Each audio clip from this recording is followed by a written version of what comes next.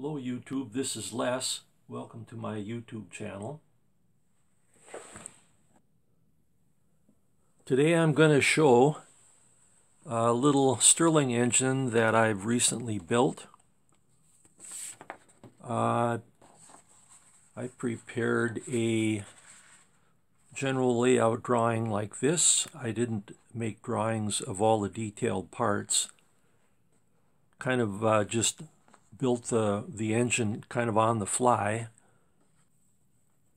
The engine has a Pyrex uh, test tube for the hot end with uh, an aluminum displacer.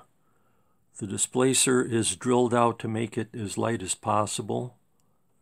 Uh, the cooling end is air cooled and is made from a piece of one inch brass rod the power piston is a, very small quarter inch uh, piston and it has a, a 3 8 inch stroke, the same as the stroke of the displacer. The engine uh, runs on denatured alcohol. Um, I believe this configuration is referred to as a bell crank where the power piston uh, operates through a rocker arm and uh, the same crankshaft can can handle both the power piston and the displacer.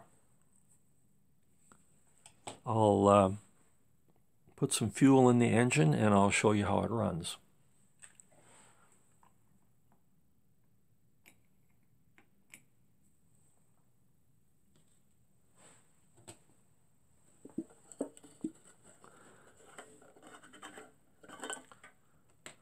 Stirling engines are very um, easy to run.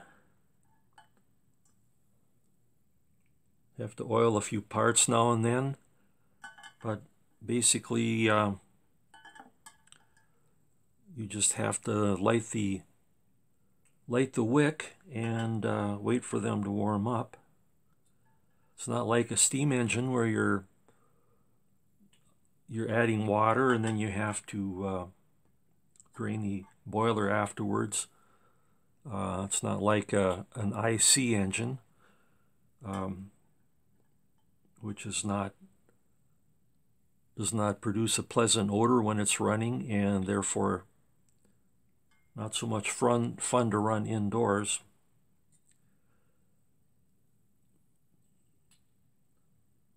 But a Stirling engine is very simple and, and easy to run.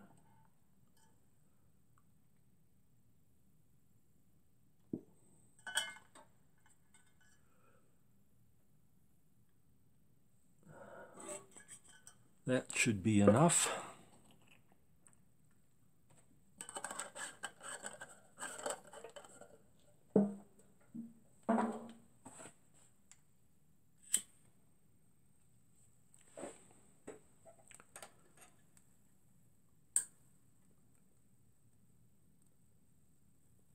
The denatured alcohol, which is mostly methanol, burns very clean, so it's kind of hard to see the flame at times.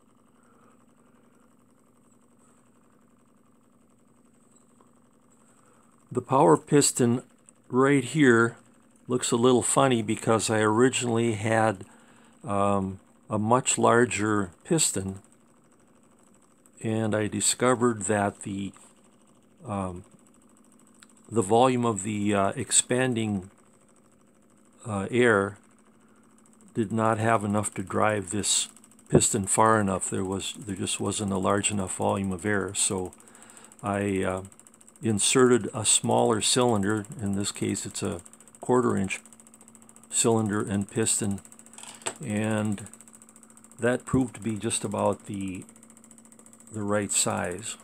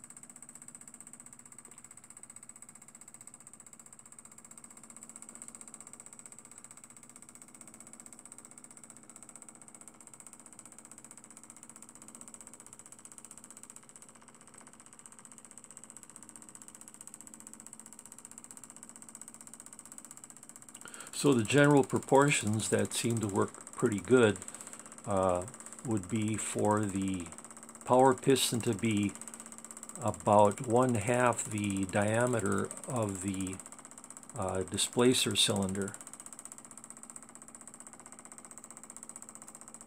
That's assuming they both have the same length stroke.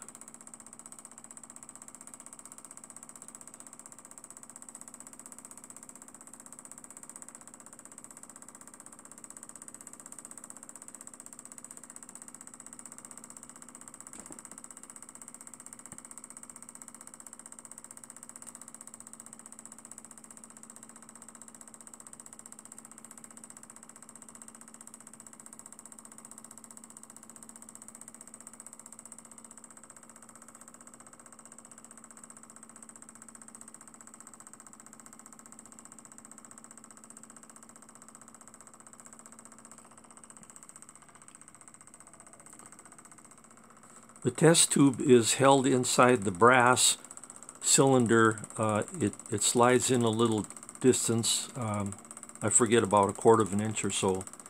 And then this retainer right here has a Vitron O-ring that kind of squeezes down on the on the test tube and secures it into the brass the brass cylinder and uh, it works real good.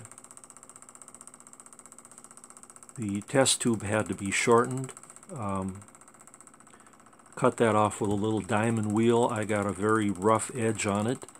Um, but it seems like it seems like it's okay. The first one I made started to develop a crack and the crack moved all along and eventually got towards the end.